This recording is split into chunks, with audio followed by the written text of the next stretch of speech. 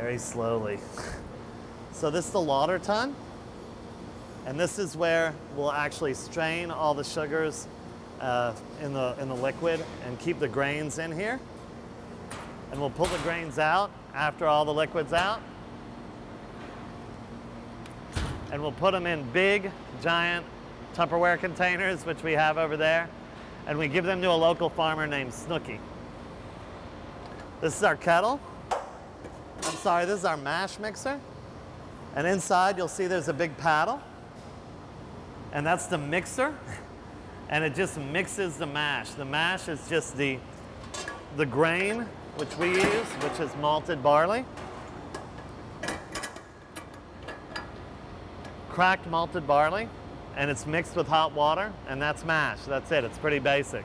Uh, that paddle is kind of like your spoon on a stove, and it's just stirring the liquid so it doesn't get to the sides and burn up and, and char the, the malted barley.